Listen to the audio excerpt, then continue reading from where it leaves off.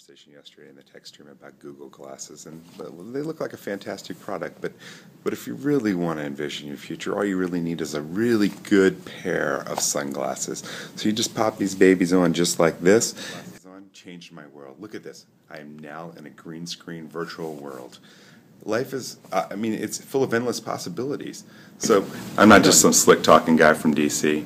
I know what a virtual world looks like, and I know how to make reality happen for you. Slick talking guys from DC don't know everything, but these celebrities sure do. Edward got himself a pair of cheap sunglasses. Sunglasses did wonders for Justin Bieber, too. I told you I wasn't living in a virtual world. See, these people, they understand what's going on, and you too can understand what's going on. Just get yourself a pair of cheap sunglasses, and your world will change. Or you can just skip the purchase and well, live in the dark like this.